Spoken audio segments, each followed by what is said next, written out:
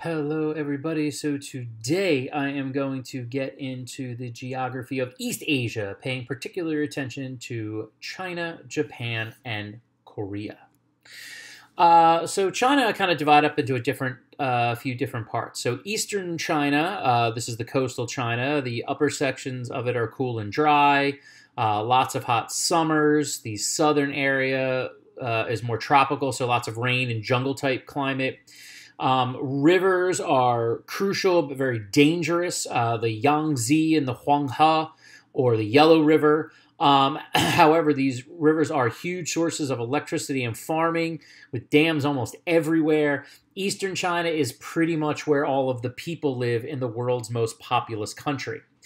Um, one of the interesting things, and I bring it up in geography because it's absolutely incredible, is the Grand Canal. Um, in eastern China, uh, roads were kind of tough to come by, but as you can see on the map on the right, there are tons and tons of rivers, and you can see all those different cities that are on the rivers.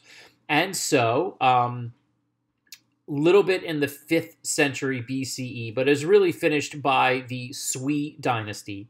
Um, they create a canal that goes from Beijing down to Hangzhou that is 1,103 miles long and even has little offshoots. It's basically a road.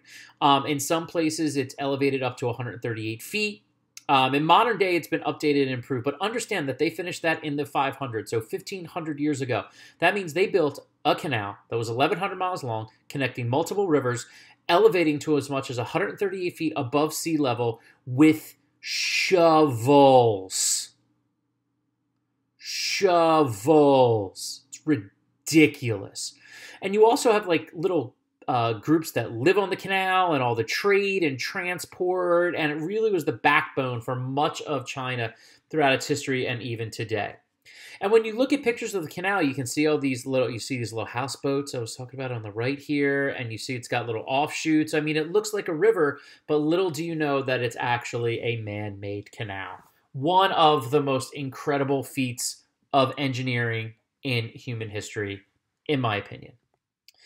Um, now, China also is the home of tea. Here's a tea farm, absolutely beautiful terraced farming.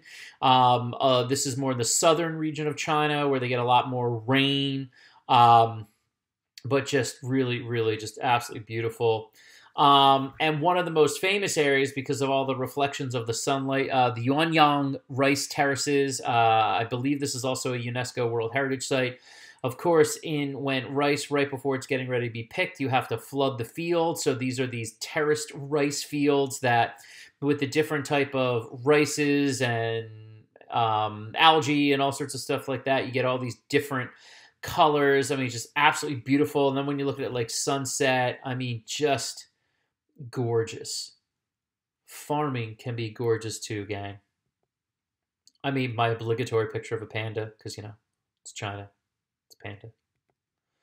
Um, also, we talked about the Gobi Desert, and this is a really interesting little. Um, I believe it's a Buddhist monastery out there uh, in Crescent Lake in the Gobi Desert. They do make a little bit of money. You see all these tire tracks here. You can take a tour out there. Okay, really wonderful.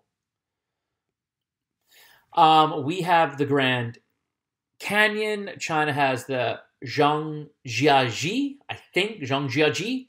Um, feel free to correct me if I'm wrong tomorrow. Um, so this is kind of in their jungle region. These are huge limestone cliffs that have been slowly but surely eroded by rain and water over time. And then you have the mist there. Just really, really gorgeous area to go see. I mentioned all those rivers. Uh, Three Gorges Dam.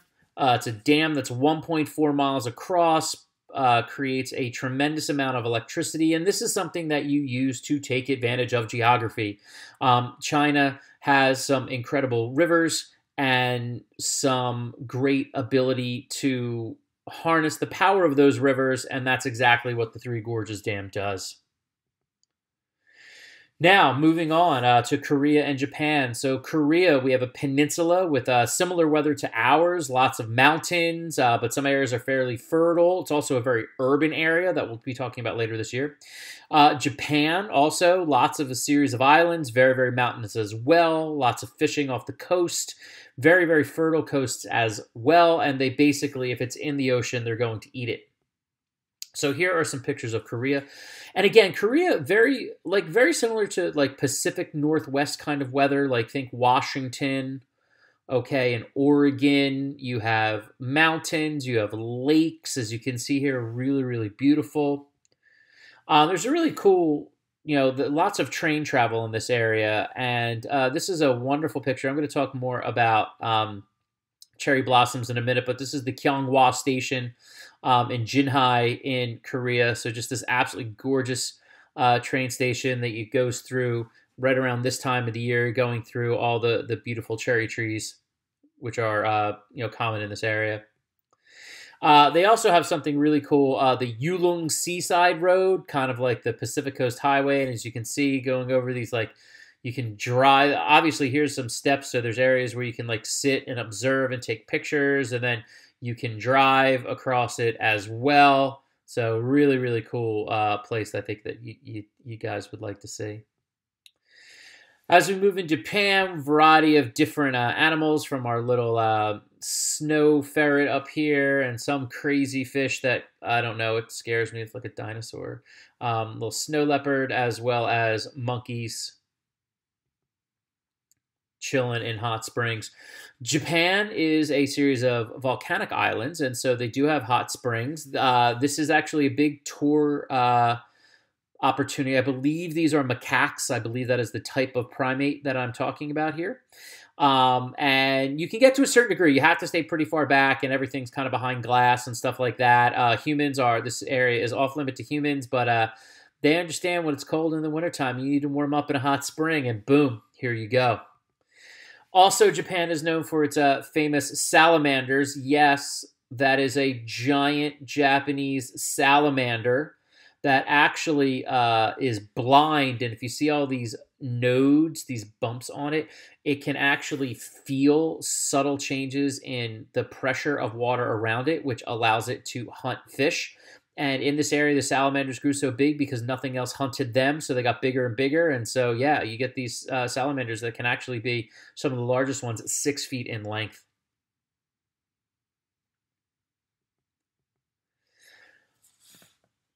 I'm also going to have you watch a separate video on cherry blossoms because it is undoubtedly one of the biggest symbols of Japan yes, there's the rising sun and stuff like that, but the cherry blossom is huge.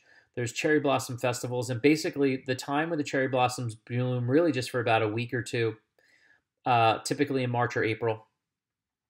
In many ways, the nation, which is one of the most modern nations you'll see and full of, you know, uh, I'm going to be doing a video on the urbanization of Japan, but to take time to appreciate this kind of fleeting beauty of nature is really, really wonderful. And like I said, I'm going to have a separate video for you guys to watch on it, but it's just, just gorgeous. Um, I love cherry trees and, and I love that time of year. Of course, all the cherry trees that you see in the United States of America are actually a gift from the Japanese government to the United States of America. So if you go down to Washington, D.C., hopefully next year we can go check them out. Um, all those cherry trees blooming.